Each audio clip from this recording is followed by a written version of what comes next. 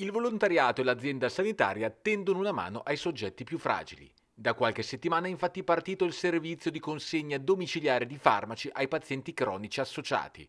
quei farmaci salvavita erogati soprattutto dalla farmacia dell'Asti in via Alfano, struttura che denota problemi d'accessibilità segnalati all'associazione Piattaforma Solidale che si è attivata per un servizio ben accolto dall'azienda sanitaria e che ora trova il braccio operativo su scala provinciale nei volontari di Hauser. L'associazione che ha accolto per prima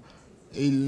la richiesta che veniva da alcuni utenti che si erano trovati in difficoltà nell'andare a, a, ritirare farmaci salvavita, fra l'altro, non dimentichiamo quelli che vengono distribuiti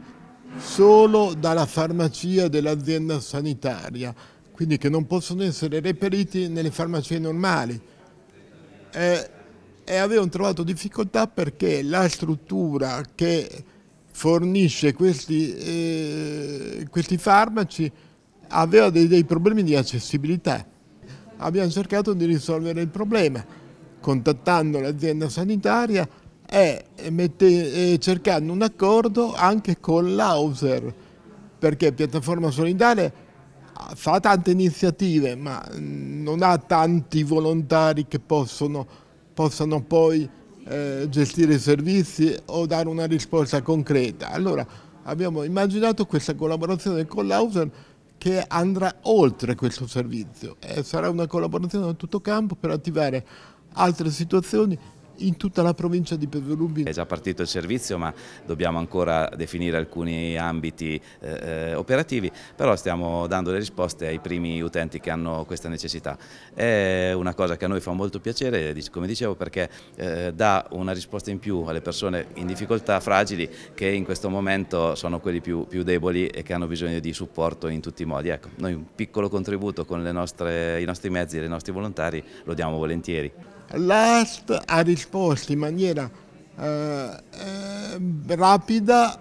e abbiamo addirittura sottoscritto un protocollo d'intesa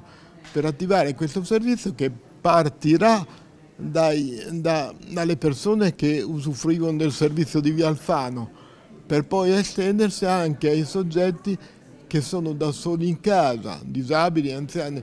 che che in alcune situazioni fanno difficoltà ad andare in farmacia. A quel punto interverremo noi.